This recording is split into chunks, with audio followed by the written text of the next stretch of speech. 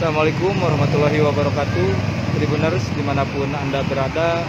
Kini kami berada di Desa Cimaung, Kecamatan Cimaung di mana esok hari Emeril Khan Mumtaz akan disemayamkan di wilayah ini.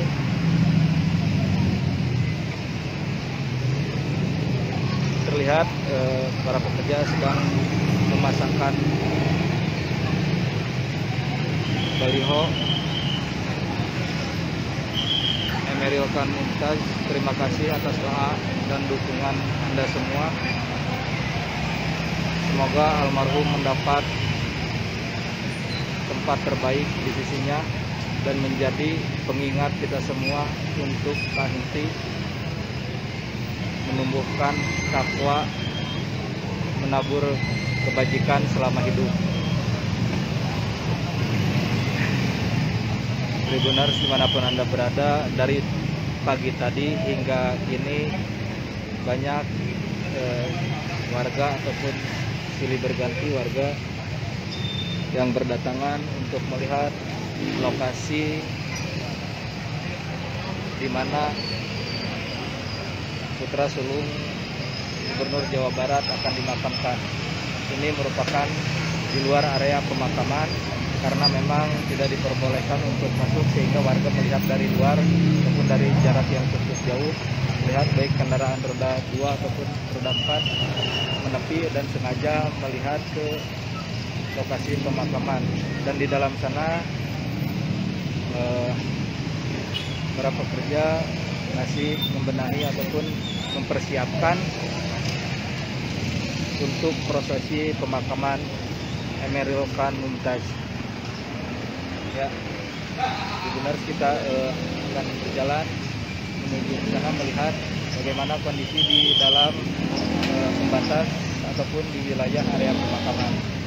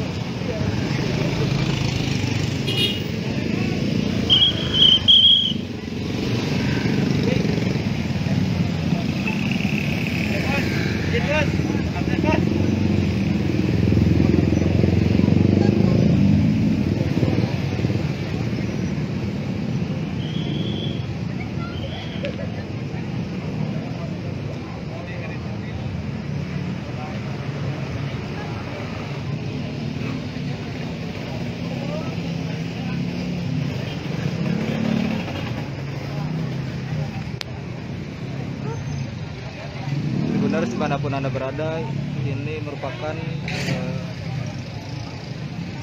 wilayah ataupun area pemakaman yang rencananya Emeril Khan Mumtaz akan dimakamkan di area ini. Ini merupakan lahan yang rencananya akan dibangun menjadi Islamic Center Baitul Ridwan.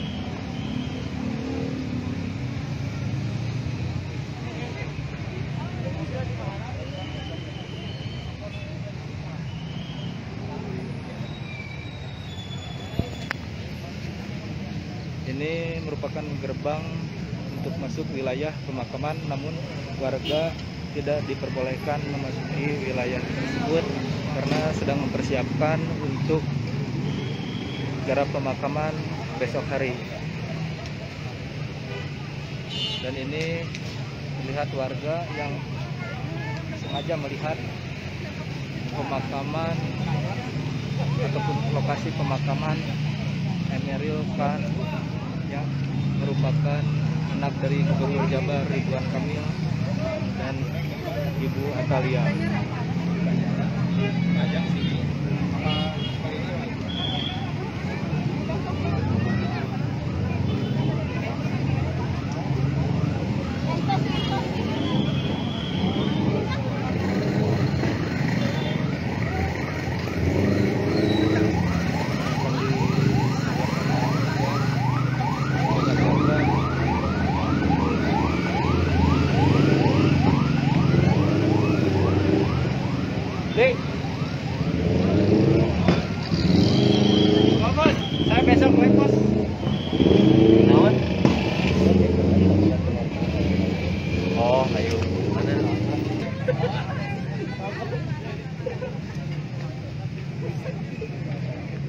Di mana pun anda berada ini merupakan eh, lokasi yang nantinya akan dijadikan tempat persemayaman Ariel terlihat sudah beberapa tenda yang telah dibangun untuk prosesi pemakaman yang rencananya akan digelar besok. Terdapat terlihat terdapat empat tenda besar berukuran besar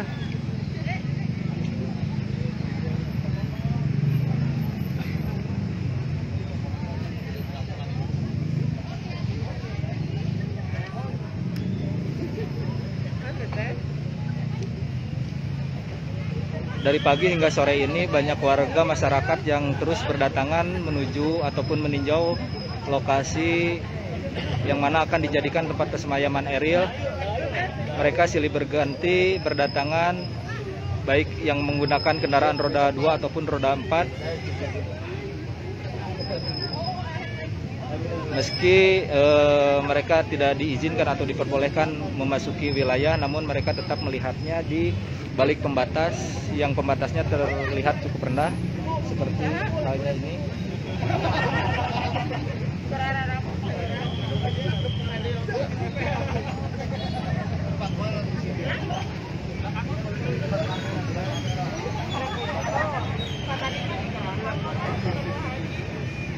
cukup sekian mohon maaf apabila ada kesalahan wassalamualaikum warahmatullahi wabarakatuh Terima kasih sudah nonton. Jangan lupa like, subscribe, dan share ya.